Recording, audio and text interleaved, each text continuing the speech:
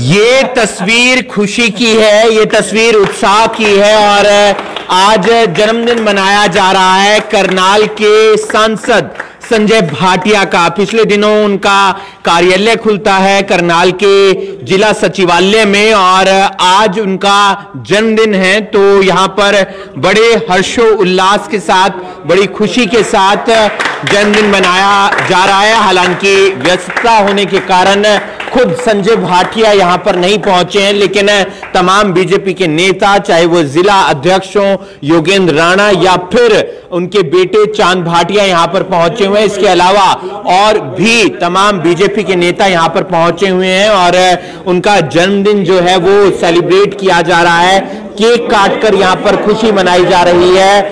सांसद संजय भाटिया ने इस बार लोकसभा का चुनाव करनाल लोकसभा से लड़ा था और उन्होंने एक बड़ी जीत हासिल की थी और आ, कई बार वो सुर्खियों में रहे हैं अपने बयानों को लेकर। कई बार वो सुर्खियों में रहे, अपने काम को लेकर और आज जन्मदिन सेलिब्रेट किया जा रहा है, लड्डू खिलाए जा रहे हैं केक खिलाया जा रहा है। इस वीडियो को आप ज़्यादा से ज़्यादा शेयर कीजिए। योगेंद्र राणा जी, आज जन्मदिन मनाया जा रहा है। सांसद संजय भाटिया जी का क्या कुछ कहना चाहेंगे आज हमारे करनाल के लोकप्रिय सांसद, आज हमारे करनाल के लोकप्रिय सांसद श्री संजय भाटिया जी का जन्म दिवस हम करनाल में मना रहे हैं। इस अवसर पर श्रीमान संजय भाटिया जी के पुत्र श्री चाँद भाटिया जी, हमारे भारतीय जनता पार्टी के यहाँ के कार्यकर्ता बड़ी धूमधाम से उनका जन्मदिवस मना रहे हैं। लेकिन हमारे माननीय सांसद इतने व्यस्त हैं और और संगठन के प्रति इतने अपने आप को हर समय। ये खुशी है जी खुशी। पार्लियामेंट पार्लियामेंट में आज उनका क्वेश्चन लगा हुआ है और आज वो पार्लियामेंट में इस समय मौजूद हैं। इस बात से पता चलता है कि माननीय सांसद जी अपने क्षेत्र के प्रति कितने चिंतित हैं। हमेशा क्षेत्र की उन्नति के लिए तरक्की के लिए जिस प्रकार से वो यहाँ एक एक बात पार्लियामेंट में उठाते हैं लोगों के किस प्रकार से अपने क्षेत्र का विकास कर सके। ऐसे माननीय सांसद हमारे जिस प्रकार से संगठन भी उनको कभी ना कभी कभी किसी प्रदेश में जिम्मेवारी देते देता है कभी जम्मू कश्मीर में, कभी अपने आसाम में, कभी उत्तर प्रदेश में। ऐसे ही वो हमेशा, और हम लोगों के लिए सौभाग्यशाली हैं हम भी, कि वो हमारा यहाँ करनाल जो लोकसभा है, उसका प्रतिनिधित्व करते हैं। मैं आज के इस उनके जन्म दिवस के शुभ अवसर पर मैं परमपिता परमात्मा से प्रार्थना करता हूँ कि उनको स्वस्थ अच्छा रखे और वो दीर्घायु हो और उनका मार्गदर्शन हम सबको मिलता रहे, हम सब कार्यकर्ताओं को मिलता रहे और वो एक जनप्रतिनिधि के रूप में यहाँ करनाल की लोकसभा के सभी लोगों की सेवा कर सके।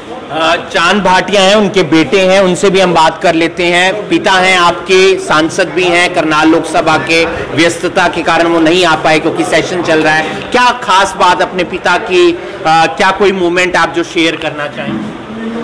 सिंपल ही है जब जैसे मेरे पिताजी हो गए आज उनका जन्मदिन है। कल उनके पिताजी का मेरे दादाजी का जन्मदिन था तो कल हमने भी बनाया वो जन्मदिन उनका हम वैसे घर में ज़्यादा जन्मदिन मनाते नहीं, लेकिन जो संगठन के जैसे लोग हैं, परिवार की तरह है। तो इनकी खुशी होती है कि ये सारे मिलजुल के एक परिवार की तरह जन्मदिन ये मनाने आ गए। हमें तो पता भी नहीं था कि यहाँ पर ऐसा इंतज़ाम कर रखा है। तो जैसे मेरे दादाजी अट्ठासी साल की उम्र के वो आज भी स्कूटर पे खुद खेत जाते हैं, अपना हाथ से खुद चाय बनाते हैं और खुद काम करते हैं सारे।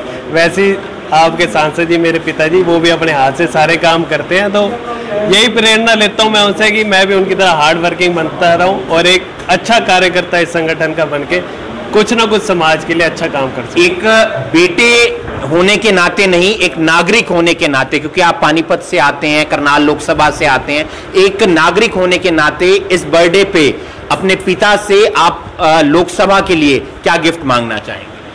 लोकसभा के लिए जो तो जनता ने पहले ही आशीर्वाद दे दिया। जो जनता अपने मुँह से कहती है उनके लिए 100 परसेंट प्रयास करते हैं, लेकिन मेरे को लगता है कि आज उनकी किस्मत ऐसी है कि आज भी वो पार्लियामेंट में इस क्षेत्र के लिए कुछ ना कुछ मांग ही रहे होंगे, कुछ इस क्षेत्र की भलाई के लिए कोई ऐसा काम बता ही रहे होंगे तो आज उनका क्वेश्चन लग गया।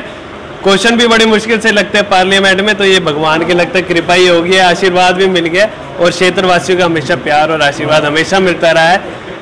उनके जन्मदिन पे हम एक खास चीज़ ज़रूर रखते हैं कि पौधा ज़रूर लगाते हैं। तो एक पर्यावरण संरक्षण के लिए पौधा हम सभी से मैं गुजारिश भी करूँगा आपके माध्यम से कि पौधा ज़रूर लगाए और हम तो ज़रूर लगाते ही लगाते हैं। बहुत बहुत धन्यवाद। संजय भाटिया नेता हैं और बीजेपी संगठन का कोई भी काम होता है कभी जम्मू कश्मीर जाना हो कभी आसाम जाना हो पार्टी के लिए कभी पश्चिमी उत्तर प्रदेश जाना हो वहाँ के चुनावों में अहम भूमिका सक्रिय भूमिका निभाते हुए नज़र आते हैं। संजय भाटिया लोकसभा का अ, सेशन चल रहा है सांसद हैं और वहाँ पर व्यस्तता होने के कारण संसद में मौजूद होने के कारण वो यहाँ नहीं पहुँचे।